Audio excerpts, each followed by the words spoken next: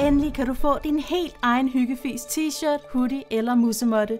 Find det lige nu på beduna.dk. Hej alle sammen, og hjertelig velkommen tilbage til min Sims 4 Let's Play-serie i krig og kærlighed, hvor vi altså har fået en lille baby. Det skete i sidste episode, og han hedder altså Bertil. Men inden vi går helt i gang med videoen, så skal jeg lige komme med en lille advarsel. Fordi hvis du ikke subscriber til kanalen og trykker på klokken, så er der altså en overvejende sandsynlighed for, at du går glip af fremtidige videoer. Og det kan vi jo ikke have, vel? Det kan vi ikke. Så hvis du vil være helt sikker på ikke at gå glip af de videoer, jeg lægger ud i fremtiden, så husk at subscribe til kanalen og tryk på klokken. Men jeg er simpelthen så glad for vores lille Bertil her. Han er simpelthen så sød. Og faren, det er jo ham, som der lige gik lige før, hvor han, han er her. Det er Cameron, og han er altså... Øh, han bor et andet sted. Det er jo en simmer, som var i spillet i forvejen, men vi har lavet lidt om på ham, fordi at vi gerne ville have en flot baby. Ej, det var ikke derfor. Jeg lavede bare om på ham, fordi hvis Alvilda skulle være kærester med ham, så synes jeg bare, at han skulle se lidt anderledes ud. Jeg synes ikke rigtig... Det var ikke... Det var ikke lige mig. Men siden jeg spillede i den her serie sidst, der er jo også sket noget i Sims generelt. Der er kommet tre kids, som er sådan nogle ekstra små samlinger af ting, som man kan købe. Der er udkommet tre her til at starte med, og jeg har selvfølgelig købt dem alle tre, ligesom jeg altid køber alle pakkerne, fordi så kan vi ligesom opleve det med det samme, og det synes jeg er super fedt. Men den ene, det er den, der handler om noget med støvsugning. Og jeg bemærker, at vores gulv, det skinner helt sindssygt, og der kommer bare sådan nogle stjerner rundt omkring, fordi vi bare har så rent herinde. Men jeg regner med, at det ikke rigtig kommer til at blive ved med at være sådan. Jeg har hørt noget om nogle onde støvkaniner og sådan noget. Det, øh, det er jeg ikke så glad for. Men vi må se, hvordan det går. Vi har ikke en støvsuger, og jeg ved ikke, om der kommer støv, hvis ikke vi har en støvsuger. Jeg har faktisk ikke rigtig undersøgt så meget om de her kids. Men der er en solcreme på næsen. Nej. Det er som om, at tingene herinde i det her rum er lidt lysere, end de plejer. Hans bluse er også bare helt brændt ud. Har vi for mange lamper? Hvad sker der? Er det fordi, vi har fjernet alt støvet fra kameraet, så kan vi lige pludselig se alt lyset igen? At jeg ved det faktisk ikke rigtigt. Men et af de andre kits, der er kommet, det er det, der hedder, jeg tror, det hedder gårdkøkken eller sådan noget. Og det er altså, fordi der er en helt særlig køkkenstil med. Der er nogle køkkenbord her, det er dem her. Og jeg synes ikke rigtigt, vi skal have det her, fordi vi har jo sådan en moderne køkken, og de bor inde i byen. Og det synes jeg også er super fint. Altså, jeg synes, det er helt vildt pænt og sådan noget. Jeg vil helt vildt gerne bygge køkkener med det. Men det passer bare ikke ind lige her. Gud, vi har næsten ikke nogen penge tilbage.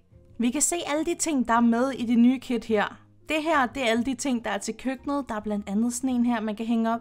Den kan stå her. Hvor er den fin? Det er sådan en lille blomsterkasse. Ej, den er vildt sød. Der er altså helt vildt mange søde ting med til det her kit. Der er noget hyldeværk og en håndvask. Så er der den lille blomsterkasse her, som bare er så fin. Så er der en kurv med nogle appelsiner eller noget i. Æbler måske. Ej, prøv lige at se den her. Den er jo vildt sød. Den er næsten nødt til at stille over i køkkenet. Et eller andet sted. Hvor kan vi stille den? Kan vi stille den oven på køleskabet? Ah, den passer ikke lige i højden. Den kunne ellers have været vildt sød derop. Ved I hvad, så sætter vi den lige der. Skal vi ikke bare fjerne opvaskestativet? Vi leger, at de har en opvaskemaskine, så stiller vi den der i stedet for. Men så er der jo også det kit, der handler om støvsuger. Og jeg ved ikke helt, om vi skal have en støvsuger. Skal vi have en støvsuger? Det finder vi lige ud af senere, tror jeg. Det sidste kit, som der er udkommet i første omgang, det er noget med noget tøj, noget fitness-tøj. Så hvis vi lige tager, hvem er vågen, der er ikke nogen af damerne, der er vågne. Jeg synes, dametøjet er mest spændende. Og Cameron tager hjem. Eller vågn lige op. Du skal lige prøve fitness-tøj. okay, lad os kigge på de ting, der er med i det nye kit. Det her, det er hendes sportstøj, sådan som det ser ud indtil videre. Men vi kunne da godt give hende et sæt mere. Der er sådan en top her, den er mega fancy jo. Og der er alle mulige vilde farver. Altså, jeg kan lide det hele. jeg synes bare, det er mega fedt. Og hvis man ikke er så meget til farver, så er der altså også bare en sort og hvid, eller måske en grå og hvid. Jeg tror, vi tager den grå og hvid indtil videre. Vi skal selvfølgelig lige kigge på resten. Der er også en lidt jakkeagtig en. Den er også super fed. Så er der en top med nogle striber på. Øj, jeg er helt vild med den. Uh, vilde farver alligevel. Og så er der altså også en kort top med sådan en rigtig 80'er-agtig jakke på. Og måske 90'er. Jeg, jeg tror måske, jeg vil sige 90'er. Øj, prøv lige at se de her pastelfarver. Ej, hvor den fin. Og der har også de lyserød. Ej, det her er også nogle fede farver. Altså, jeg synes altid, det er vildt svært at finde sportstøj til mine simmer, men det her, det gør det altså nemt som ingenting, synes jeg. Men jeg kan helt vildt godt lide den her, fordi den har det her sære print. Men det er ikke lige det, der passer til hende, synes jeg. Hun skal måske bare have sådan en på, og så lad os se, om der er nogle nye bukser til. Der er fem slags nye bukser. Der er sådan nogle her. Der er også en nederdel til. Wow, sindssygt. Og en kort nederdel. Og så er der to par shorts. Ej, jeg kan godt lide dem. Det kan jeg altså godt. Og de får selvfølgelig nogle farver, der passer til. Og så går den her stribe ligesom igen. Hmm, hvad skal hun have på? Ej, jeg tror ikke så meget, hun er til det grå alligevel. Jeg tror, vi skal finde et eller andet med en vild farve til hende. Måske det pastelfarve? Ja, lad os sige det. Prøv lige at se det her sæt her, ikke? Åh, oh, men der er faktisk også hele sæt. Så der er sådan en, en jakkekjole her. Og sådan en kjole. Ej, den er fin. Og sådan en her. Og så er der et par sko med til. Det er ikke lige min favoritsko, tror jeg. Jeg synes, de ser lidt, øh, lidt mystisk ud. Sådan, som om der er totalt meget for i. Jeg ved det ikke helt. Der er også en hat med, og det var sådan en slags bøllehat-agtig hat. Det ligner noget, jeg havde, da jeg var barn. Man skulle ikke tro det, men jeg gik faktisk utrolig meget med bøllehat, da jeg var barn. Fordi det var nemlig sådan, at min mor hun hæklede bøllehatte til mig. Det var ret cool. Okay, de var ikke lige så fancy som dem her, vel? Jeg synes ikke rigtigt, de passer til. Hun ligner sådan en gammel turist, når hun tager den på. Der er selvfølgelig også ting til mændene. Der er sådan en, en jakke her, som kun er lynet på midten. Og så sådan en basketball shirt med en bæltetaske på. Oh my god, den har en bæltetaske på ryggen. Ej, hvor cool. Jeg ved ikke lige, om jeg synes, det er Elliots stil. Så skulle det være den her, fordi den har det der 90'er print, ikke? Den her, det kunne også godt gå an. Jamen, det er sikkert fint. Vi behøver ikke kigge på det hele, fordi altså, det er jo ikke rigtigt det, det skal handle om i dag. Men vi kan godt lige give ham et nyt sæt på. Jeg tænker også lige at give de andre piger et nyt sæt på. Så Ella sæt ser sådan her ud. Elliot sæt ser sådan her ud. Vera sæt ser sådan her ud. Og Alvilda sæt ser sådan her ud. Jeg synes godt, hun kunne klare de her skrabe farver. Og småbørn, de har jo ikke rigtig sportstøj, så jeg går ikke ud fra, at der er noget nyt til dem. Åh, oh, åh. Oh. Vi er ikke engang kommet igennem natten, og der er allerede støv. Og hvad er det, der er herinde? En støvkanin. What? Hvorfor skete det så hurtigt? Der var jo vidderligt skinnende lige for et øjeblik siden. Åh oh, nej. Bed støvkaniner om at lede efter værdigenstanden. Foder med støv. Træd på. Ej, vi skal ikke træde på den. Øh, vi beder den lige om at lede efter noget værdifuldt. Men hvad er du for en? Øh, den fandt et insekt. What? Jeg har fået forkyllingemel. Okay. Jamen, øh, vi kan også fodre den med støv. Der ligger noget herinde, den bare kan tage hvis den har lyst. Molly, ikke træde igennem støvet. Så blæser det ud over det hele, det ved du også godt. Hvad skal vi kalde den? Vi fnuller. Det er et meget sødt navn. Vi kalder den for fnullergøj. Men så kan vi jo ikke lige at fjerne den. Men jeg kom til at tænke på noget. Ej, Alvilda, Alvilda, det er en rigtig dårlig idé. Vi skal lige have anskaffet os en støvsuger, ikke? Men jeg kom til at tænke på noget. Ben Hilde, tror jeg hun støvsuger? Vi har tre forskellige slags her, og vi har ikke så mange penge, så jeg tror faktisk, vi tager den billige for nu. Der er forskellige farver. Uh, og en lyserød en. Ej, den her er også fin. De behøver slet ikke at være grimme jo. Den her passer meget godt til rummet. Ej, vi skal have den med det fancy mønster på, det er vi nødt til. Men hvad, skal den så stå et eller andet sted? Har den en fast plads? Øh, Alvilde, prøv lige at gå op og hidkalde Benhilde. Sådan der, så kommer Benhilde. Benhilde, kan du ikke lige gøre rent? Bed om hjælp til rengøring. Vi har lige brug for dine tjenester, Benhilde. Ja, ja, hun nævnte støvsugeren. Okay, så må vi gå ud fra, at Benhilde, hun tager støvsugeren. Der er helt vildt ulækkert. Hvorfor står vores baby ude på badeværelset og leger? Åh oh, nej, støvkaninen, er det den samme? Nej, det er en anden støvkanin. Og den er vi også nødt til at navngive nu. Den hedder Latte. Så skal den da næsten hedde Kaffe. Kaffe Latte. Benhilde, du skal ikke stå der og danse og bede eller om at gifte, gifte dig med hende. Benhilde, nej, stop. Du skal støvsuge. Jeg forstår det ikke. Hvem støvsuger? Hvem har taget støvsugeren? Åh oh, nej, men det her det er en anden støvkanin. Oh, er det her fnullergøj? Hvad skal den her så hedde? Det, det er altså en fnullergøj. Ej, vi er nødt til at kalde den her... Nu kalder vi den for fnullermus, fordi i tilfælde af den anden fnullergøj dukker op. Vi har alt for mange støvkaniner. Åh oh, nej, hvad laver du? Bertil, nej. Der er kaos, og det er alt sammen på grund af de støvkaniner. Venter hundevalpe? Hvad er det for noget? Hvad? Tillykke, Molly venter sig. Der kommer snart nogle nye små poter i husholdningen. Hvad? Det plejer da at være noget, man skal arbejde hårdt på og få dem til at gøre alt muligt med hinanden. Men det kan da ikke være... Det kan da ikke være de to. What? Venter hundevalpe? I havfruernes kald, der arbejdede jeg mega hårdt på at få hundevalpe. Og det kunne bare ikke lade sig gøre. Og vi, jo jo, det lykkedes til sidst, ikke? Men jeg arbejdede virkelig hårdt på det, og her der har jeg ikke gjort noget som helst for det. Og nu venter Molly hundevalpe. Hvor kommer det fra? Vi har ikke plads til hundevalpe. Så, altså jo, hvis der kun kommer én, så kan det godt være. Ej, pebernød, kan, kan vi lige holde op med det der engang? I rette sæt for at lege affald. Hvor er den støvsuger? Hvem har taget støvsugeren? Tillykke med det nye familiemedlem. Tak, Cody.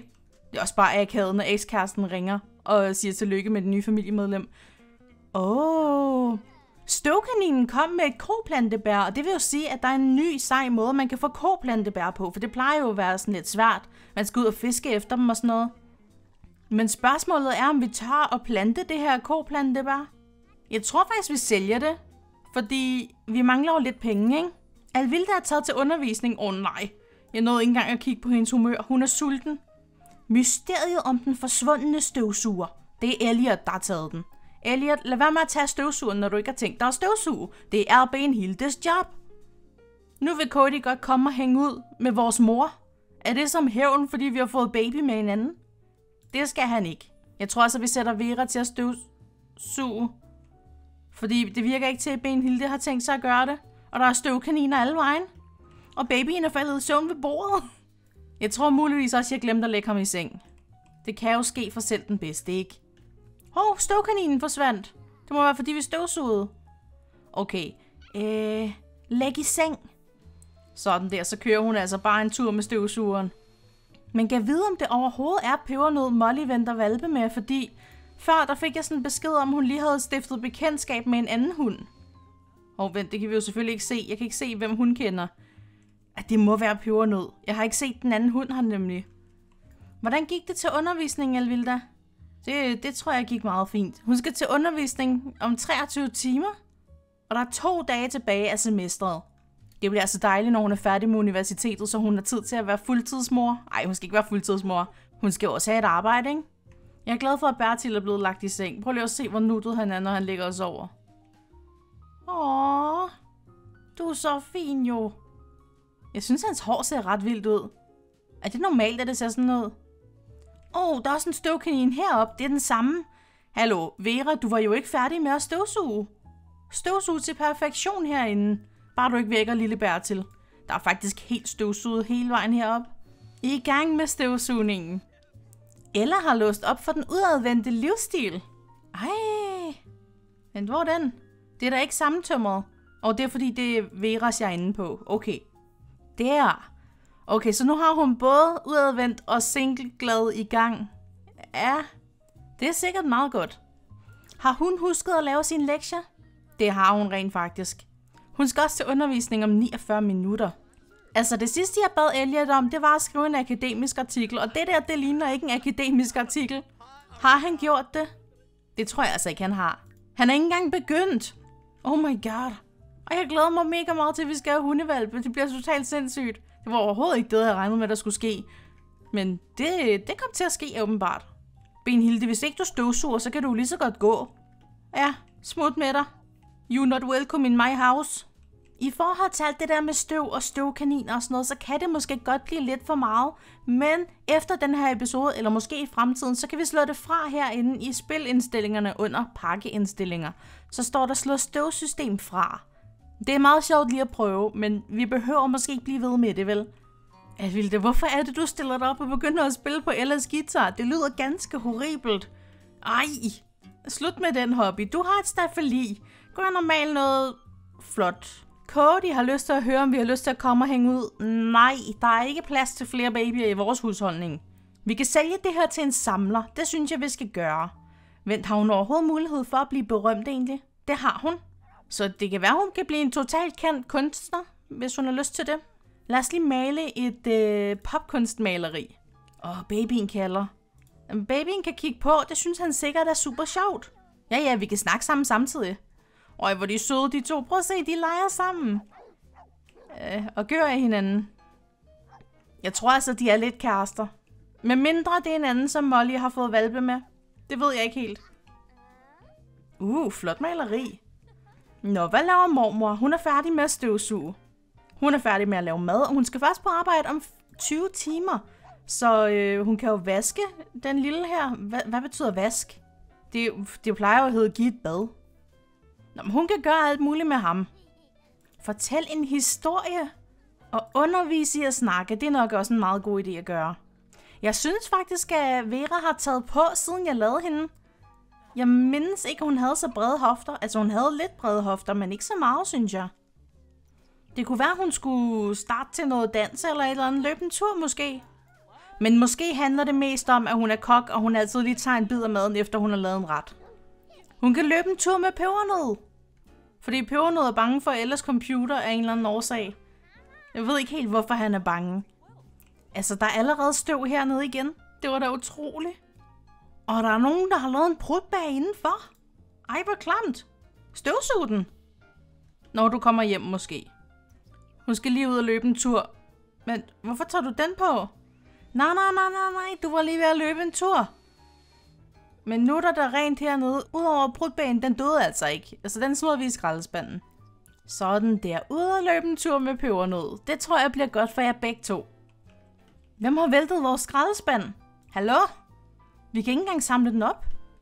God tur. Molly, er det dig? Jeg ved simpelthen ikke, hvad jeg skal gøre her. Den er totalt død. Jeg må sætte en ny, så. Måske hvis vi sætter den sådan der. Ja, ja, så bliver den nulstillet. Okay. Det er vildt irriterende, at folk skal gå og vælte vores skraldespand. Hvad laver de? Molly har fået vejer. Hun er ved at springes. Øh, Alvilda, er det dig? Du, du står lige op. Åh oh, nej. Babyen er i gang igen. Hvor er Molly? Alvilda? Du skal lige til dyrlægen med Molly. Du skal væk hende, først og fremmest. Øh... Hvorfor er hun gået i seng? Hun skulle føde jo. Væk hende. Og... Men skal de slet ikke på dyrehospitalet for at lave babyer? Det kan godt være, at de ikke skal det. Hvad er der galt? hun er lidt trist. Øh, hun ser ud til at have brug for opmærksomhed. Jamen, okay. Molly, skal du lave babyer, eller skal du ikke lave babyer? Skal du til dyrlægen, eller skal du ikke til dyrlægen? Jeg ved ikke helt, jeg kan ikke, altså jeg har kun prøvet det her i Sims én gang før, og jeg kan ikke huske, hvordan det var.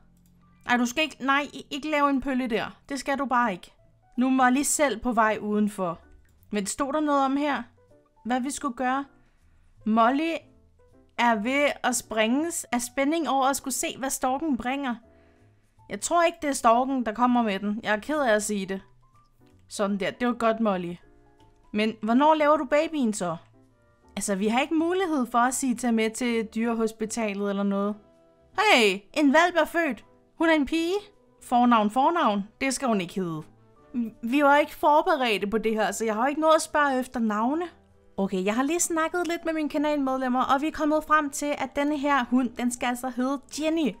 Og den er altså opkaldt efter en kat, som er blevet væk. Så i håb om, at Jenny dukker op igen, så vælger vi altså at kalde den her hund for Ginny også. Jenny Katmus. Okay, hvor er den? Nøj! Ej, hvor er du sød. Jamen altså, det er helt sikkert Molly og Pebernøds baby, det der. Det kan vi jo se, fordi den har Pebernøds markeringer, men Mollys pels. Ej, hvor er den sød. okay, jamen øhm, så er det jo sådan, det er. De kunne ikke få mere end en baby, fordi nu er vi ligesom otte i husholdningen, ikke? Hvor er du sød, lille Ginny? Ej, der er støv alle vegne heroppe. Hvor er det klamt. Okay, der var helt vildt beskidt alle vejen, men jeg har lige opdaget Alvildas sidste eksamen om en time. Okay, heldigvis har hun lavet lektier. Jeg blev lige bange et øjeblik, fordi jeg kunne ikke huske, om hun havde gjort det. Sæt lige gitaren på plads, mand. Vera, hun har simpelthen gået og støvsuget i vilden sky, og babyen bliver bare ved med at lave rod alle steder. Alvilda står og hopper i støvet, når hun er på vej til eksamen. Stop! Gør tumling rent med støvsuger. Øh, okay. Sådan en håndholdt støvsuger har vi heldigvis ikke. Vi skulle da nødig risikere at suge babyen op. Øj, var der stor størrelsesforskel på de to her. Jeg synes også, det er lidt utroligt, at sådan en stor hund kan få valpe med sådan en lille en. Måske var det derfor, jeg ikke rigtig havde tænkt på, at det kunne være et problem. Nu venter vi lige på, at Alvilde hun tager til undervisning, og jeg tror, det er eksamen. Jeg håber, det er eksamen. Så ser vi lige, hvordan det går. Men ellers, så tænkte jeg, at jeg godt kunne overveje sådan lidt at wipe det her hus herover og så lave et hundetræningssted eller et eller andet, hvor vi kan gå tur med hundene. Kunne det ikke være mega cute? Ej, Cameron er kommet på besøg. Okay. Hun afleverede sin lektie med stor selvtillid. Okay, men det gik umiddelbart fint med den eksamen der, så jeg synes altså, vi skal tage, og så skal vi lave en lille hundetræningssted derovre. Det kunne være så cute. Så det er det her hus, og der er faktisk ingenting i det her hus, så jeg synes bare, vi skal tage og rydde grunden. Vi rydder det hele. Så laver vi også grundtypen om, sådan, så det er en park, tror jeg. Der er nogle krav for, hvad der skal være på en park. Der skal være noget legepladsudstyr og sådan noget. Er der en dyrepark? der er en nationalpark. Det var sådan set det.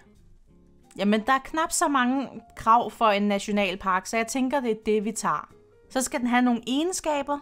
Det skal helt sikkert være en hundevenlig park, fordi der kommer hunde jo. Og resten er egentlig ikke så vigtigt, tror jeg. Det kunne også godt være en hundekrog, så der kommer herreløse hunde. Ja, det er nok en meget god idé. Og så god jord. Ja, det er nok meget fint. Shalom.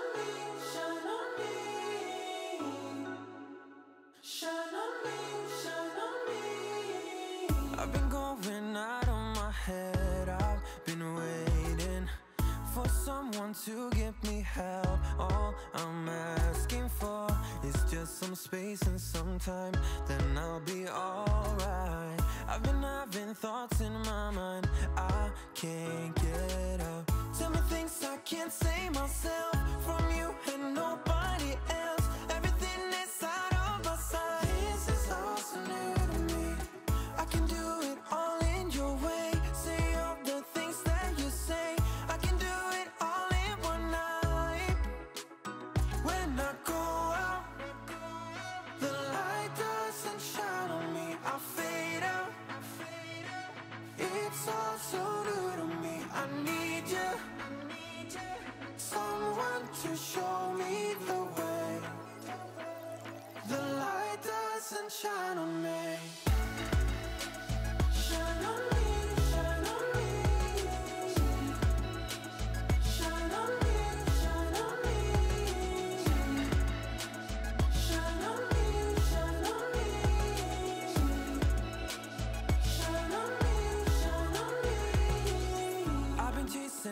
just to breathe, yeah. I need that. Take it all in now, I see what I'm asking for. Is just some space and some time, then I'll be alright. I've been having thoughts in my mind, I can't get up. Tell me things I can't say myself From you and nobody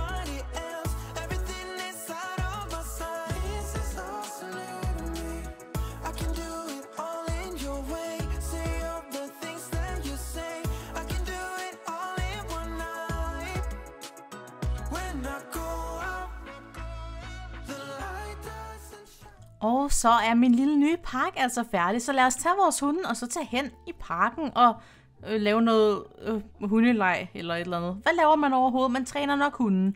Vera, hun skal på arbejde lige om lidt, så hun skal ikke afsted. Hvad med Alvilda, har du tid? Hun har lavet sine lektier, og hun skal først til undervisning om tre dage. Så kunne hun jo godt tage hen sammen med hundene. Og måske sin baby. Skal Ella med? Hun skal til undervisning om fem dage, har lavet lektier og fire dage. Bess ringer. Nej, vi vil ikke sende penge til hende. Men vores telemarketing fidus var... Ja, den hopper vi ikke på igen, Bess. Ja, lad os sætte de to tvillinger med hen i parken med hundene og med baby. Og nu ser der selvfølgelig en lille smule anderledes ud, end da jeg byggede det, fordi det er jo efterår, men det gør det altså ikke mindre pænt, synes jeg. Jeg synes virkelig har hyggeligt. Det ligner ikke en traditionel Sims Park, men stadig. Nå, hvad skal vi gøre med de her hunde her? Kommander kæledyr til at bruge løb forhindringsbane med pebernød? Øh, jeg har da ikke lavet sådan en decideret for... Åh oh, nej, ikke, det er da ikke en decideret forhindringsbane. Jeg har bare sat dem op tilfældige steder. Fejl 1. Ja, ups. Okay, den der kan du godt pebernød. You can do it. Ja, ja, ja. Sådan. Ja, så ved han så ikke helt, hvor han skal løbe hen. Hvad så er det den der, eller hvad? Åh, pebernød. Du falder lige på snuden hver gang. Men Alvilda, hun står altså også bare og snakker. Alvilda, tag dig nu sammen. Se, pebernød kunne godt den der. Nu står han og jagter sin hale. Sådan. Ej, det er mega hyggeligt, det her. Åh, Pebernød, du kan godt. Kom nu. Nej, han løber sin vej. Op på den der. der kan han godt lide at stå. Åh, og dog. Vi skal lige have lagt noget, noget mad i skålene her også. For der kan jo komme herreløse hunde. De er jo også nødt til at have noget mad. Der kan komme en her, som vi kan ansætte. Øh, jeg har ikke lyst til at ansætte en. De skal da bare komme automatisk. Ikke dårligt, men ikke perfekt.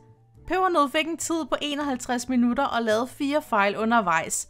Så for ordentlig træning og disciplinering fra Alvilda, før banen løbes igennem igen. Okay, jamen vi tog faktisk alle sammen. Det var da ret fedt. Ej, det er mega hyggeligt at være i parken. Prøv lige at se Pebernød og lille Ginny. Ej, hvor er de søde. Nå. det er meget sjovt, at hendes næse har en anden farve. Hov, der er blomster i vejen. Jo, trist. Nå, lille hund og wuff. Ej, jeg elsker altså Bertils udendørstøj. Jeg synes, det er vildt fint. Hvis du og burritoen blev opfundet på Krydderifestivalen, skal vi tage dig hen og snuppe en? Ah, ikke lige nu. Vi har faktisk andre ting, vi skal. Men mega fedt at være i parken. Jeg tænker godt, vi kan tage herhen igen i fremtiden. Og så kan vi brygge en urtemixtur. Øh, men vi kan også grille ting. Det var nok det, der var vigtigst. Åh, oh, vi har fået karakterer. Hun har fået 10 minus i tyngdekraft og generel relativitet, og hun har fået 12 i robotter til lands, til vands og i luften. Gennemsnittet 10 plus. Juhu! Og Ella, hun har fået 10 plus i begge to. Og hendes gennemsnit for det hele, det er 10 minus. Øj, de har så gode karakterer. Vil du tilmelde dig et nyt semester? Ja tak. Okay, hvad skal hun have nu? Jeg tænker, vi tager to fag igen. Det går meget godt. Eller måske skulle vi prøve at tage tre, fordi hun skal gennemføre fem i alt. Så er der frivillige valgfag. Nej, det gider vi ikke. Vi prøver for en gang skyld at tage tre. Fordi så kan hun nemlig tage to til sidst, og så har hun gennemført. Og Ella, hun får altså også lov til at tage tre fag. Uha. Så bliver det hårdt. Vent, der er lysfestival i gang. Ej, hvor cool. Det bliver totalt svært at holde styr på det her, men vi skal nok klare det. Men der er én ting, vi lige skal nå, inden vi slutter af for i dag. Og det er altså fordi, at der er en ny Mega Safir, som skal have præsenteret en Safir-simmer. Alvilde, hun er gået i gang med at lave lektier. Jamen, så tænker jeg, at det er Ella, vi tager med i dag. Det er jo sådan en New Crest det her, hvor vi flytter vores safirsimmer ind. Og almindelige safirsimmer, de bliver ikke præsenteret, men dem har vi mulighed for at møde rundt i byen. Der skal man bare være almindelig Safir. De bor her, og så er der også lige flyttet nogen ind her. Så har vi Mega Safir, hvor vi tager hen og besøger dem, når jeg sætter dem ind i spillet. Der er så kommet en ny til i dag. De bor her. Og hvis man er Monster Safir, så kan man få lov til at lave en hel husholdning, og så kan de få lov til at bo i deres eget hus. Og det her, det er en Monster Safir familie, det er Cecilies, og det her, det er også en Monster Safir familie, og det er Jeanettes. Men den, vi skal hilse på i dag, den bor altså herinde. Og det er jo her, hvor de andre Mega Safir Simmer bor. Det her, det er Kravitz, Oline Kvist. Så er der Senjas her, og Cecilius her. Men hvor er vores nye? Jeg tror simpelthen ikke, hun er hjemme lige nu. Så må vi jo bare vente her, indtil hun kommer hjem. Der er ikke andet for. Men måske hun ovenpå. Åh oh ja, hun er heroppe. Der er så mange etager her. Hun hedder Ronja Stær, og hun er altså lavet af Ronny, som er mega safir på kanalen. Og tusind tak for det i øvrigt. Lad os lige hilse på hende. Jeg er helt vild med hendes sko. Hun har virkelig fine sko på. Men hun ser simpelthen sådan her ud, og hun kunne blive vores nye allerbedste veninde. Man skal selvfølgelig lige lære hende at kende først, ikke? Vi kunne prøve at spille fodbold sammen. Jamen, det gør vi da bare indenfor, men det regner altså også udenfor, så det er nok ikke så underligt, at vi gør det indenfor. Tag den! Ej, man må ikke... Hallo, det er en fodbold, man må da ikke røre ved den med hænderne. Wow. Ved du hvad? Det har været skønt at hænge ud med dig, og vi har så mange gode minder sammen, og vi vil skabe endnu flere i fremtiden. Det er jeg sikker på. Men nu er hun så også lidt anspændt, fordi hun har ikke trænet nok i fodbold. Men hun kan gøre hende vildt begejstret. Gør hende lige vildt begejstret, så drop den der fodbold der, ikke? Jeg er væk med den. Ja, der blev sagt væk. Det, det fik hun så ikke gjort, men nu skal hun lige råbe forbudte ord til sig selv. Men sikke en fin simmer. Lad os lige læse af, fordi vi er lidt anspændte lige nu. Det er ikke så godt. Jeg kan ikke så godt lide at være anspændt. Vi kan give hende en sjov gave. Hvad er det for en gave, hun skal have? Åh, oh, den er flot pakket ind. Hey! wow, der var konfetti og så smed hun den bare fra sig. Okay, cool. Nå. Hun kan få lov til at blive her, og så smutter jeg tilbage til Alvilda. Alvilda er stadig her i parken, og vores lille baby, han står bare her i, hvad er det, nattøj eller undertøj eller sådan noget? Ja, det ved jeg ikke helt. Ham skal vi vist lige have indfanget. ja, lad os snakke om og Det var det sjoveste i hele verden. Men jeg havde slet ikke forudset, hvad det var, vi kom til at lave i dag. Øh, det var ikke planlagt, at der skulle komme en hundevalp. Øh, ja, det kom bare sådan lidt ud af det blå. Når vi prøvede ikke engang. Så hvis vi nogensinde bliver færre personer i husholdningen, så skal vi nok sørge for, at enten Molly bliver steriliseret, eller Pebernød bliver kastreret, fordi det der, det går altså ikke. Kan ikke bare gå og lave babyer. I virkeligheden, så var den slet ikke gået, fordi der er så stor forskel på størrelserne på dem. Men nu har vi en lille hundefamilie, og det synes jeg bare er super cute. Også især sjovt, fordi nu fik vi jo lige en lille menneskefamilie i sidste episode, hvor der kom en ny baby til. Det er altså bare super fint. Men jeg har et spørgsmål til dig i dag. Har du prøvet nogle af de nye kits, som er kommet til Sims? Har du prøvet den med støvsugeren? Har du prøvet den med køkkenet? Og har du prøvet den med fitnesstøjet? Skriv det gerne til mig, og skriv også gerne, hvad du synes om det. Men ellers, jeg håber, du har nyttet sig med, og du har en super dejlig dag, og så ses vi ellers i min næste video. Hej!